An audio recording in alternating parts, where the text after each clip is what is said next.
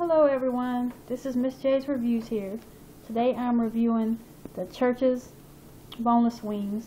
They're honey barbecue flavor. Get six pieces, and I got the combo that comes with the small fries, small drink. But I was a little extra hungry today, so I got the medium sized fries and drink. So um, now I will have a taste. Some of these are kind of small, some of them are a little bigger.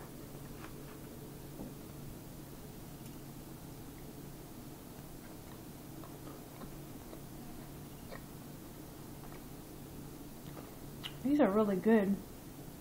Um, better than what I was expecting from Church's. Really juicy and meaty. A nice flavor to the sauce.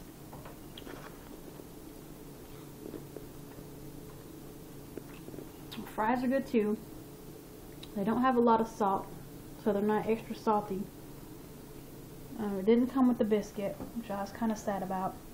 I really like their biscuits. But they're really good. So check it out next time you want some Church's. Comment, rate, subscribe. Bye!